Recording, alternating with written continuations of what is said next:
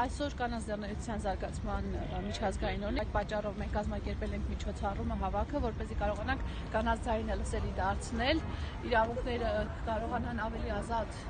հնարավորություններ ունենան ձեռնարկության ոլորտում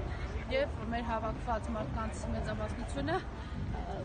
կին ձեռներեցներ կամ ուզում են դառնալ կին ձեռներեցներ եւ երիտասարդներ են, որոնք ուզում են հավասար հնարավորություններ ձեռնարկության մեջ։ Միշտ քարոզել են, որ գործ ընդհանրապես կանանց իրավունքը միշտ պահպանվի եւ գործարար կանանց միշտ հավասար ուղղության վրա դրվի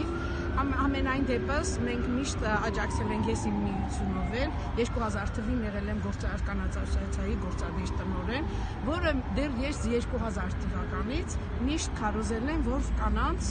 գործարար կանանց հատկապես միշտ իրանք իրենց ուրույն տեղ ունենան աշխատեն իրենք արդեն փոխվել է, իրավիճակները փոխվել, միշտ պետք է կանայք իրենց դիրքերի հավասար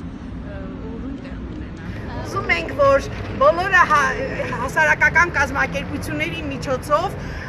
ավելի ակտիվացնեն իրենց կյանքը։ Կառավարության ասում ենք, որ լավ աչքերով մեզ նայեն, որ կանանց ներուժը պետք է ուղղորդվի հասարակական զարգացման մեջ։